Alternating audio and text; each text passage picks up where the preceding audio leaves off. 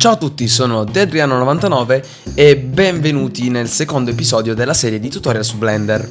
Se hai aperto questo episodio ma non hai visto il precedente, ti consiglio vivamente di guardarlo, questo perché molte cose che dirò faranno riferimento al primo episodio.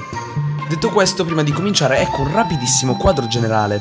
Nello scorso episodio abbiamo visto la struttura generica del programma, oggi invece ci incentreremo sulla prima finestra del programma, ossia la 3D View. In questo episodio imparerai come muoverti nella 3D View, come creare oggetti, spostarli, ruotarli, modificarli e tutte le opzioni importanti che servono per fare al meglio tutte queste azioni. Ti ricordo che stiamo partendo da cose molto basilari, ma che costituiscono le fondamenta dell'animazione 3D, che è il punto di arrivo finale di questo corso. Cominciamo subito. Innanzitutto diamo uno sguardo alla struttura intrinseca della 3D View. Possiamo ritrovarvi tutti i paragrafi e gli scomparti caratteristici di ogni finestra. Guardiamoli insieme vi è lo spazio centrale, la barra inferiore, una barra destra e una sinistra, le quali, piccola digressione, possono essere aperte e chiuse rispettivamente con il tasto N e il tasto T.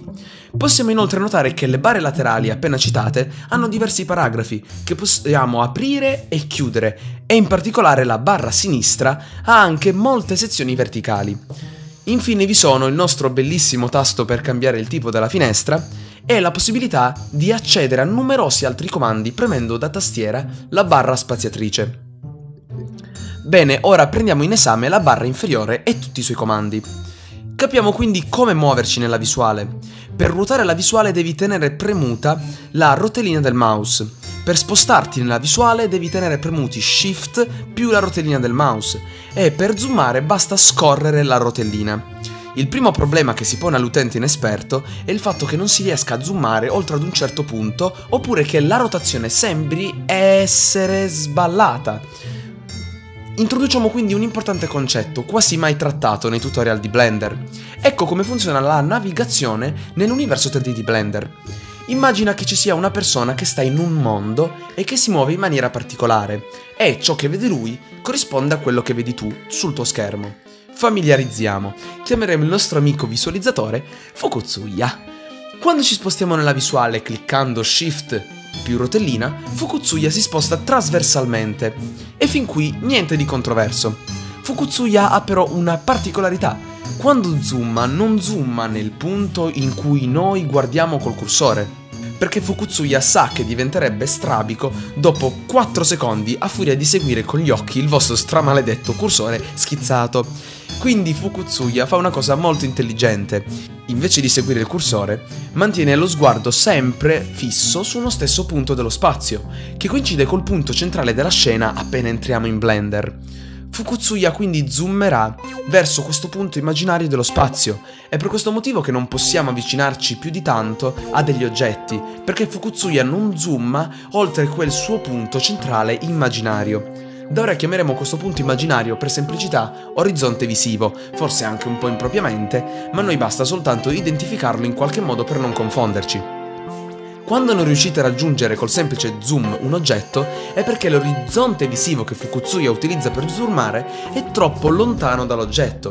Questo suo comportamento si ripercuote anche sul funzionamento della rotazione nella visuale, che noi facciamo tenendo premuta la rotellina. Fukutsuya non si limita a zoomare verso il suo orizzonte visivo, ma vi ruota anche attorno. E questa è una cosa importantissima da tenere a mente.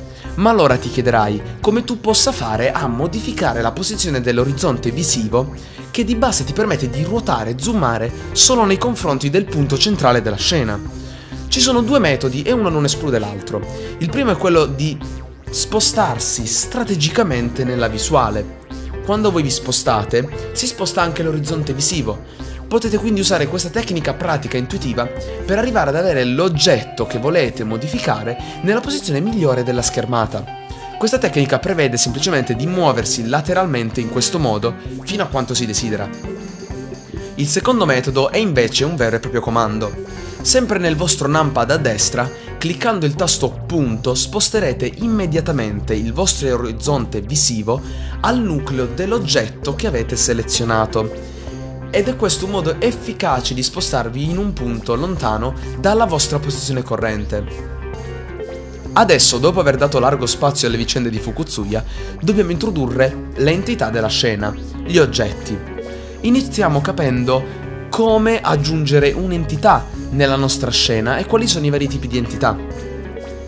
Il tipo di entità più semplice è la mesh, cioè gli oggetti veri e propri, gli oggetti solidi, che noi andremo a modellare e useremo sempre. Ci sono poi gli oggetti vettoriali, che possono essere curve vettoriali o solidi vettoriali, e sono oggetti senza vertici, senza facce o spigoli, ma che definiscono la propria forma in maniera indiretta. I meta-oggetti che hanno la capacità di interagire fra loro nelle maniere più svariate.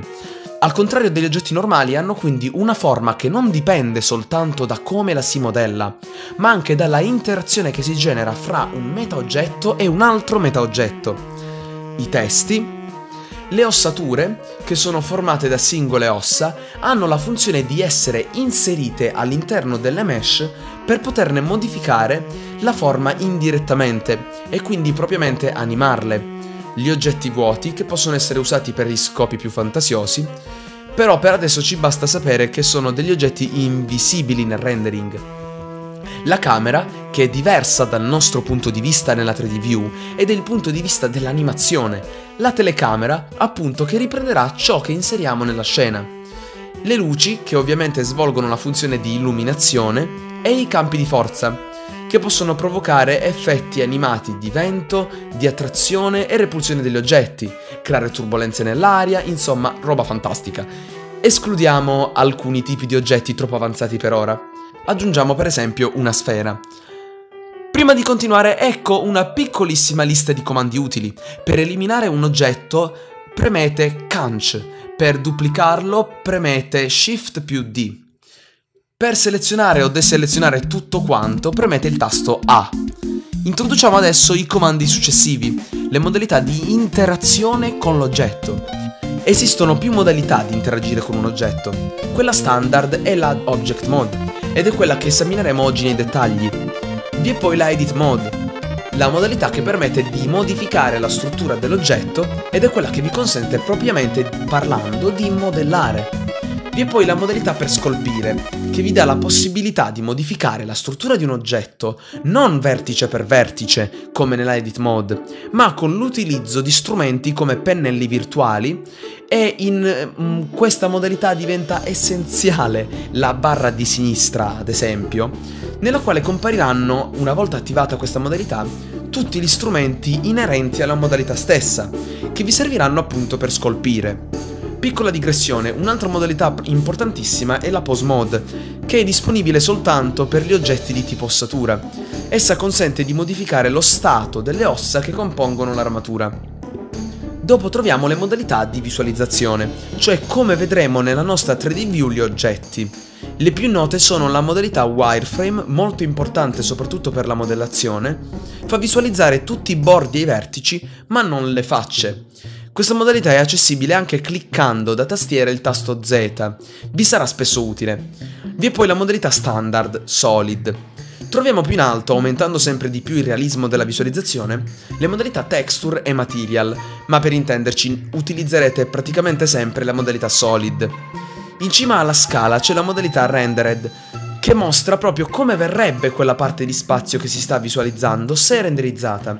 Essendo questa modalità molto pesante, conviene restringere il campo in cui essa è attiva, e ciò lo si fa cliccando da tastiera CTRL B. Vi comparirà quindi una croce con la quale potrete creare una selezione della visuale su cui volete attivare la modalità rendered.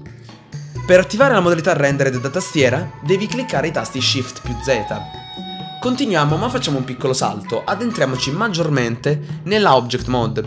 Ogni oggetto ha il proprio nucleo, il proprio centro, ed è quel piccolo pallino giallo attorno al quale appaiono quelle freccette colorate. A proposito delle freccette colorate, esse sono gli assi di traslazione e ti servono per muovere, quindi traslare, un oggetto. In questa posizione puoi attivare eh, gli assi di rotazione e gli assi di ridimensionamento puoi anche tenere attivi tutti i tipi di assi o una combinazione di essi, banalmente tenendo premuto il tasto Shift e cliccando. Per esempio la combinazione che per me è usuale è quella degli assi di traslazione più quelli di rotazione. Qui poi c'è la possibilità di selezionare il modo in cui questi assi vengono creati intorno alla figura. I tipi più importanti sono due. Global, gli assi prendono come punto di riferimento gli assi fissi del mondo, appunto gli assi globali, e Local. Il punto di riferimento per la creazione degli assi nella figura non sono più gli assi del mondo, ma gli assi dell'oggetto stesso. Gli assi creati seguiranno quindi la rotazione dell'oggetto. Studiamo adesso il punto di aggancio degli assi. Normalmente è median point, il punto mediano, cioè il nucleo dell'oggetto se avete selezionato un solo oggetto, oppure la via di mezzo fra i nuclei nel caso di una selezione di più oggetti.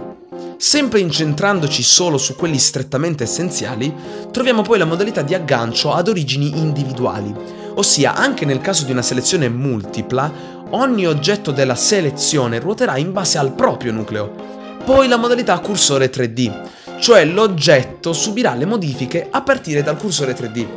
Ok, ma cos'è il cursore 3D? Il cursore 3D è quella schifezza che avrai già sicuramente spostato 200.000 volte sullo schermo cliccando freneticamente e ignorantemente col tasto sinistro del mouse appena entrato in Blender. Ma cos'è? In primis è il punto di spawn degli oggetti. Un oggetto quando viene creato viene creato col nucleo coincidente col cursore 3D. Se ben utilizzato, puoi sfruttare il cursore 3D per delle rotazioni, traslazioni e ridimensionamenti strategici. Abbiamo quasi finito per oggi, tranquillo figliolo. Accanto alla scritta global puoi trovare quella serie di piccoli quadratini con il primo quadratino illuminato e con un pallino dentro. Ogni quadratino corrisponde banalmente ad un layer, un livello della scena. Creare più livelli è un modo per non appesantire troppo la scena e lavorare in maniera più fluida solo sugli oggetti interessati, oppure per dare un ordine alla scena. Per esempio, nel caso di questo progetto, in un layer tutti gli alberi, in un altro il prato, in un altro le lanterne, eccetera. Per spostare un oggetto da un layer all'altro, come già anticipato nello scorso episodio, devi cliccare M e selezionare il layer nel quale vuoi spostare l'oggetto selezionato. Infine c'è la funzione calamita, che è molto utile soprattutto per le animazioni di Minecraft, o in generale in ogni tipo di progettazione di tipo geometrico. Quando è attiva, un oggetto sarà libero di muoversi solo metro per metro e non nelle vie di mezzo.